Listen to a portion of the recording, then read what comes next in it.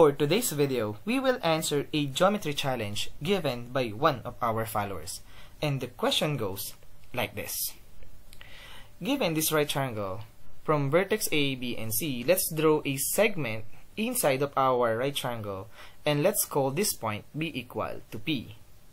Now, this angle must be equal to 15 degrees. This is given. And this angle also equals to 15 degrees. And this angle is x degrees. It is also given that AB equals BC. Then the question is what is the value of this angle x? Now you can pause this uh, video if you want to give this problem a try.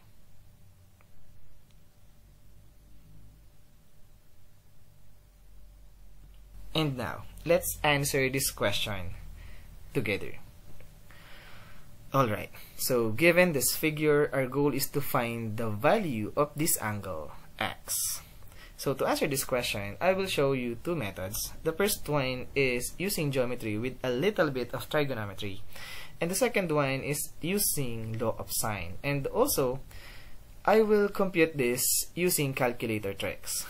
Alright, so let's start with the first method, which is the geometry approach. Alright, now, to answer this using geometry, of course, we need to utilize the given that side AB must be equal to side BC. So, AB must be equal to BC. It tells us that this triangle ABC is an isosceles right triangle.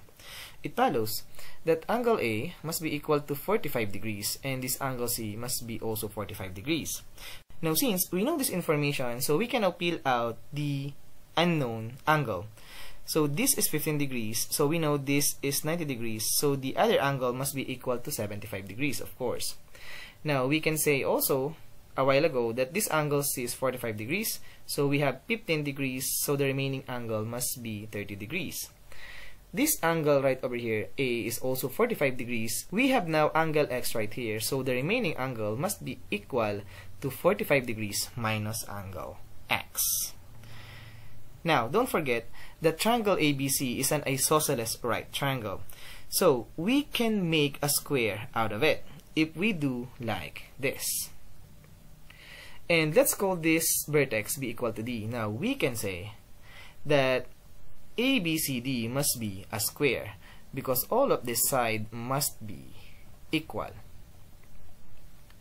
Now, what we're going to do here is to create a perpendicular line that divides the side AD.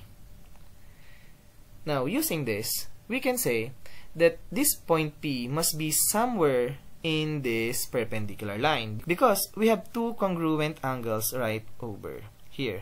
So, this point P must be in this perpendicular line. Now, without the loss of generality, let's have the length of the side of the square and this must be equal to 2 why not?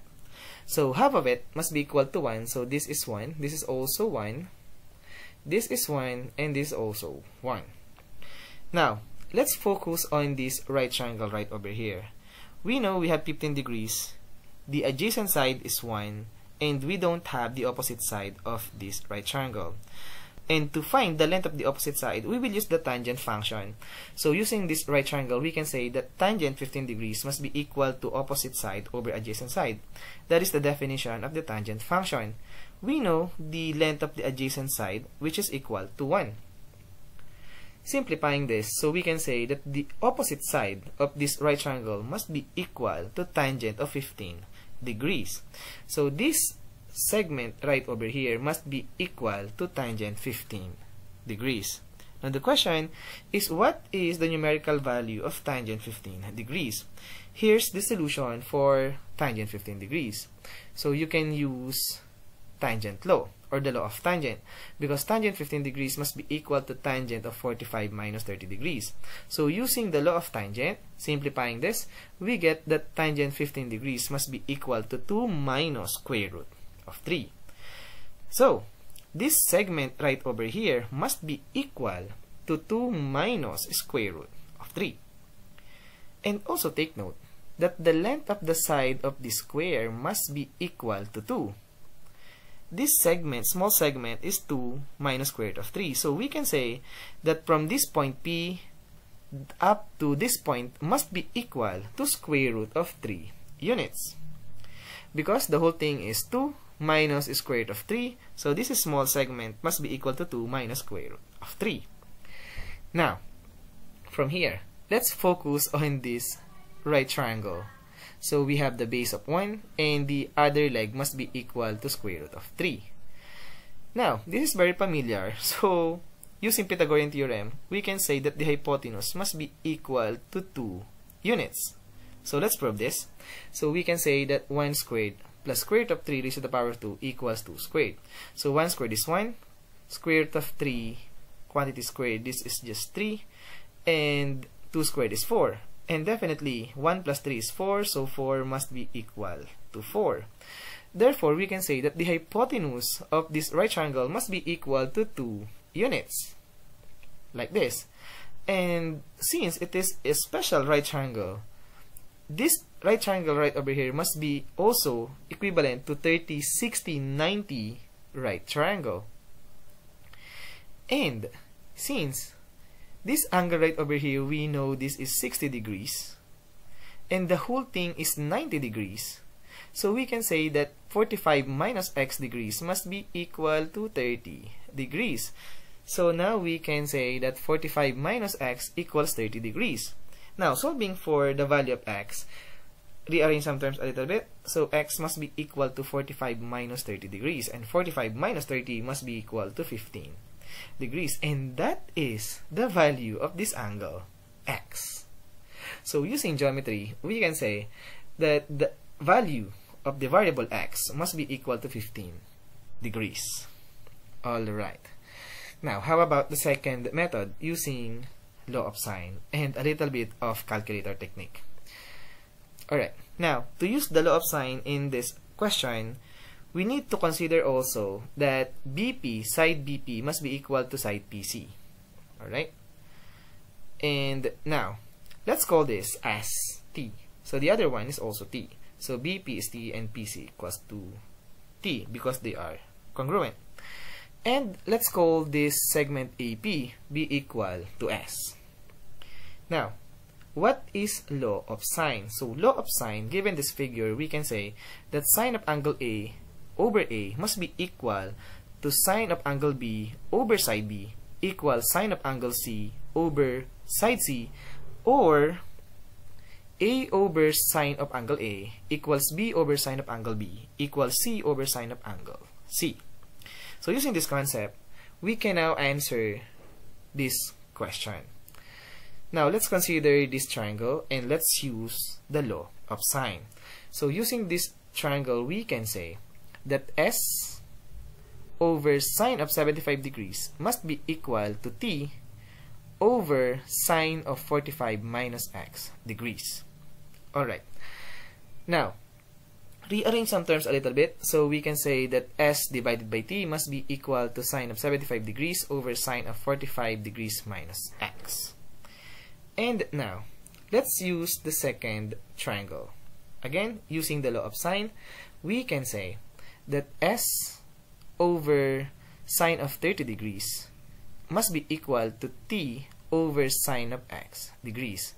Again, using this equation, rearrange some terms a little bit, and we can see that S over T must be equal to sine of 30 degrees over sine of x. And now, we see two similar terms. We have S divided by T and S divided by T on this equation. So since they are equal, so we can say that sine of 30 degrees over sine of x must be equal to sine 75 degrees over sine of 45 degrees minus x. And on using this equation, we can now find the value of x. So let's focus on this equation. Now to answer this, we can use the sum and difference identities involving sine because this 75 degrees, we can rewrite this as 45 degrees plus 30 degrees and we use this identity. Also, we can easily find the values of sine 30 and sine 45 and cosine 30 and cosine 45. These are the values that we need to evaluate this equation and to solve for the value of x. But why not? Let's use calculator to answer this question. And also on the following video, I will upload a video that contains different calculator techniques. And these techniques will help you in your study. So now, let's have our calculator. Alright, now this is very important. We have solve equal. So we will use shift solve in this question. Now, to start with, let's have this fraction and let's put sine 30 and make sure before we start this, the mode of our calculator is in degrees. Alright, so we have sine of 30 degrees over sine of x. So we have alpha x close parenthesis. We have equal sign, so we have alpha equals then fraction again sine 75 degrees close parenthesis divided by sine of 45 minus alpha x then close parenthesis now to solve for the value of x let's do shift and then solve so solve for x equals and here we go x must be equal to 15 degrees and that is the answer to this question so definitely x must be equal to 15 degrees. And that is the answer to this question. So, given this figure, we can say that the value of this angle x must be equal to 15 degrees. And as always, we are done.